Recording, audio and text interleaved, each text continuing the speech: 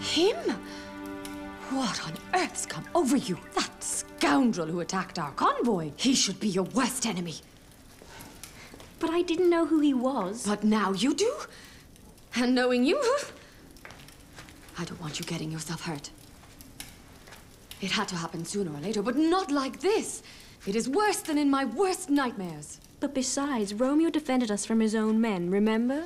And spared Tybalt's life. All the same, he's still a Montague. Promise me you will forget him as quickly as possible. I'm trying to, but... But every little thing reminds me of him. I can't stop thinking about him. There we are. Hmm? The idiocy of those in love. Just like me. Same words. It must be the milk I gave you when I was nursing you. Hmm. Juliet, I don't want you to make the same mistakes as me. Besides, what's so special about this Romeo? He's... He's handsome and... and proud and courageous.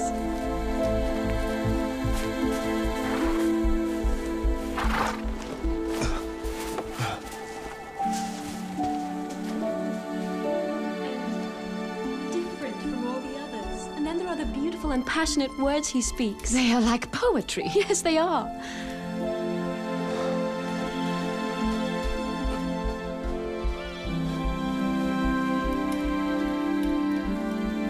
Where are you going? I'm going to look at the stars. Oh, I so understand you. But at least, wrap up.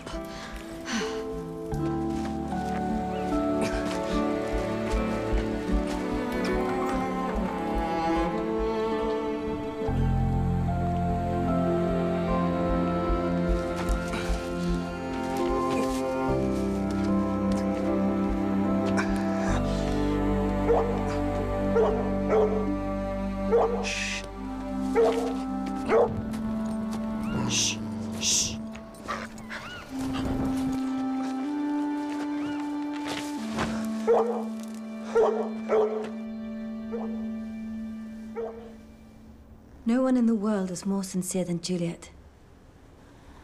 If she says she's not in love, then I believe her. I heard her say the exact opposite.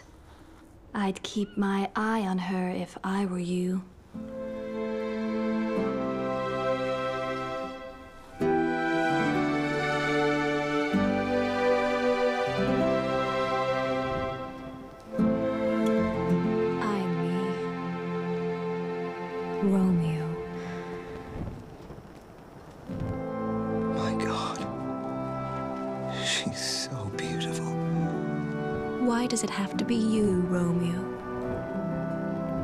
Your name is that of my enemy. You are you, and you will still be you, even if you weren't a Montague. And what's in a name? Even a rose, if it were called by any other name, would smell as sweet. If it's called a rose, it's a rose. Some things cannot be changed so easily. Now come inside. Yes, but Romeo is still so beautiful. And. and brave. And perfect as he is. If only he gave up his name, I could be his. Fine. Choose a name and I will be baptized in you. Who is there? Is someone there? I have just given up my name, so how can I tell you? I recognize your voice. Is that you, Romeo? Montague? No more. Eh?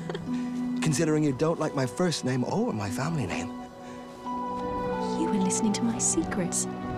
Hidden there in the dark. How did you manage to get here? Nothing could keep me away. no castle walls. No relatives. No dogs. No swords.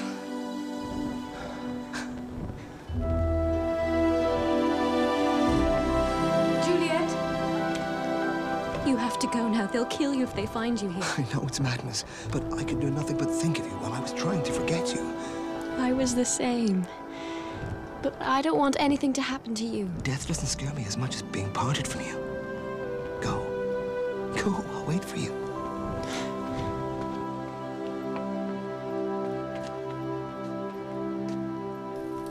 It's your sister. Ursula, why are you here so late? I thought about what you said. You were so sweet, and I wanted to return the favor. Is there anything you want to tell me? What would I have to tell you? Oh, I don't know. Maybe you have a secret. Something you didn't have the courage to tell anyone else. If she didn't tell anyone, there has to be a reason. I'm so tired. I would like to go to bed now. Good night. I thought there was no secrets between us.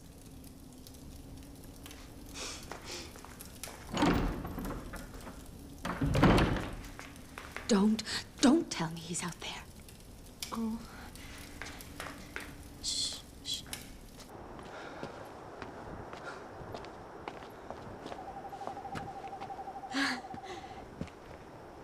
I should be ashamed for what you heard me say earlier. Why? You didn't really mean it? Oh, no, no, no, on the contrary, but I certainly don't think I would have said those things if I'd known that you were listening to me. But at least I was sincere. You're magnificent, just the way you are. Juliet, that window is the east. And you are the sun. That makes even the moon turn pale with envy. The moon changes every night. What if you change your mind tomorrow? Never.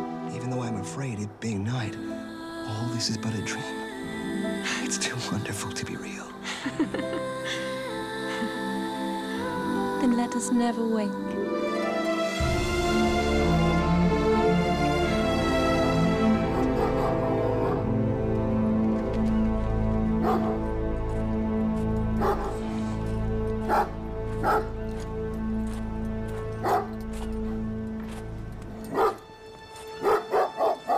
Juliet, is everything all right? Yes. Why is the dog barking? I don't know, but he seems to be barking at your balcony. Juliet? Uh, nurse, I'm coming. The moon must be driving him crazy. Tie him up before he wakes everyone. Wouldn't you be happier if I came to take a look? I can do that myself. There's just me and my nurse and no one else here, but thank you all the same, cousin. And good night. Good night, Juliet. Good night.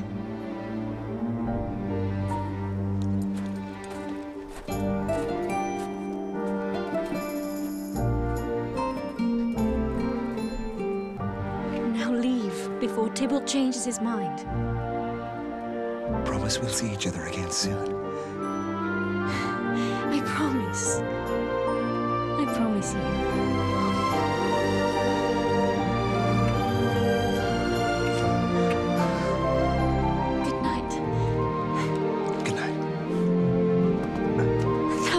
Good night.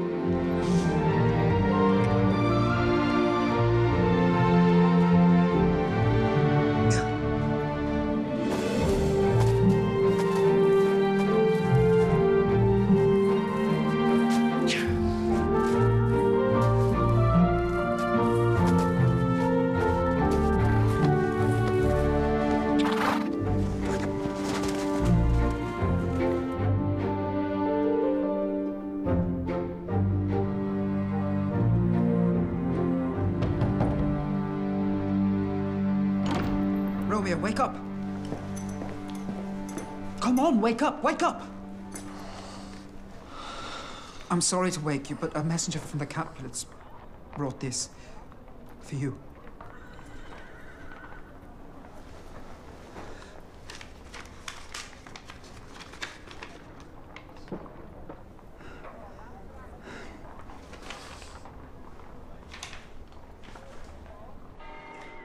Tybalt has challenged you to a duel.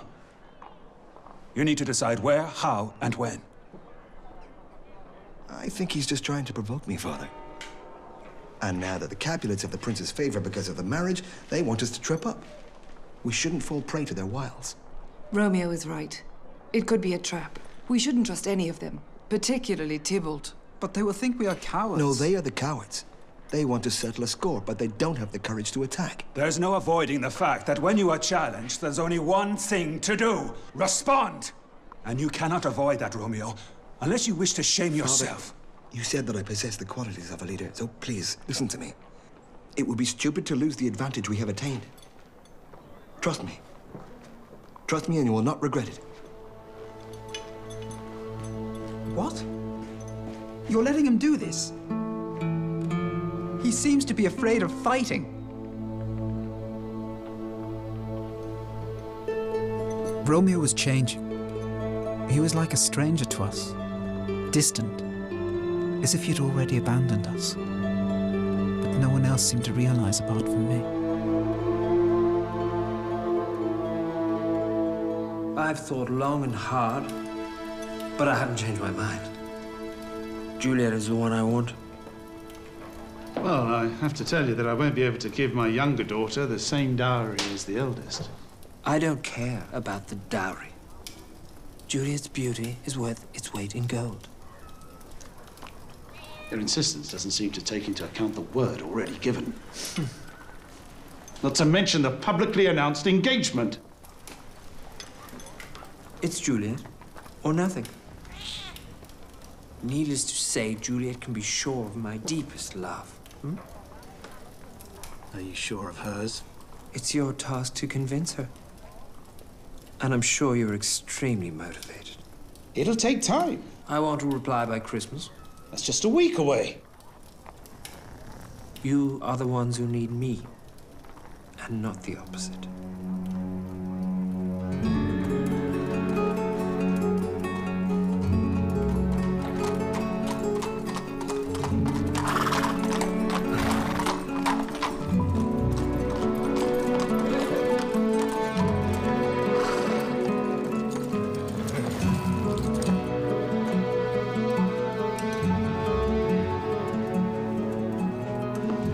To marry Juliet. Then we'll give her to him. And what if she doesn't agree? She'll have to marry him all the same. You're forgetting. The same thing happened to me.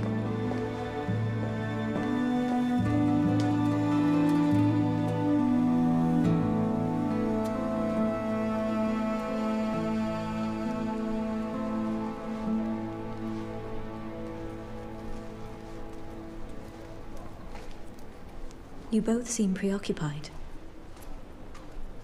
Things aren't going well for us, are they? I'm just concentrating. This design is very complex. So, did you like dancing with Count Paris? I can't really say I liked it. He is a handsome man. And you are not a young girl anymore. Many girls even younger than you are already mothers. Myself included when I was your age. I don't understand what you're getting at. If the Count happened to be more interested in you than in your sister, what would you say? No. I would say no. Your father would be happy if you married Paris. And you'd have everything you could possibly desire. Have you thought about Ursula? The humiliation for her would be terrible. But you won't listen to me. You don't care about Ursula. Nor about me or what I really want. What you want? The whims of a talkative and spoiled child. And don't you dare breathe a word of this to your sister. You're right. This design is too complex. It baffles me.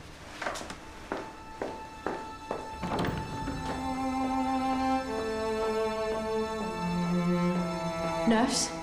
Nurse, you must go to the city right now. Oh, good lord, why? That errand that you needed to run?